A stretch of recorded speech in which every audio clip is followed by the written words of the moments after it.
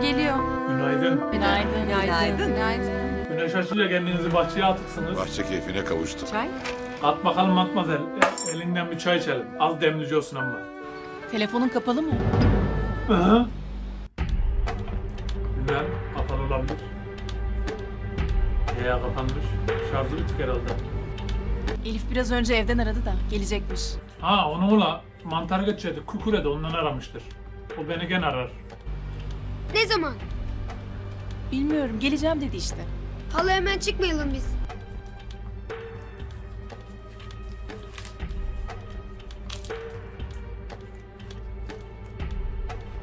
Biz kahvaltıdan sonra hemen gideceğiz canım. İstiyorsan sen kalabilirsin. Ya Elif burada gazı gelmem valla. Bak sen. Ne oluyoruz Bülent? Adamın gözünün içine baka baka nişanlısına asılıyor ya. Oğlum o senin yengen, yengen.